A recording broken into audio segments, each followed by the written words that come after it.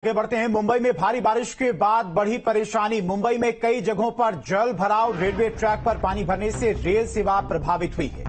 तो बड़ी खबर आपको बता दें, मुंबई में भारी बारिश के बाद लोगों की परेशानियाँ बढ़ी हैं। मुंबई में कई जगहों पर जल भराव की स्थिति देखने को मिली। ये तस्वीरें आप देख सकते हैं। मुंबई में किस तरह से लोग गाड़ियों में धक्का लगाते हुए नज़र आ रहे हैं। कमर तक पानी भर चुका है और लगातार हो रही बारिश की वजह से सड़कें नदियों में तब्दील हो गई हैं।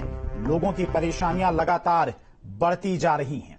ये तस्वीरें आप देखिए किस तरह की तस्वीरें हैं मुंबई की।